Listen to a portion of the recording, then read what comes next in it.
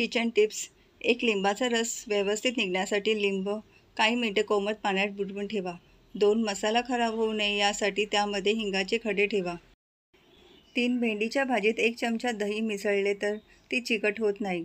चार कणिक मळताना चिमूटभर साखर घातली तर पुरा चिवट होत नाही.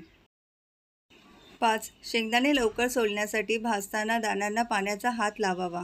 सहा. वांग दुधी अथवा कोणतेही फळभाजी रोस्ट करण्यापूर्वी त्याला तेलाचा हात लावून काट्याने छेद करावे.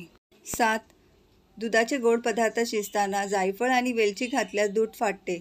यासाठी तो पदार्थ थंड झाल्यावर वेलची आणि जायफळ टाकावे.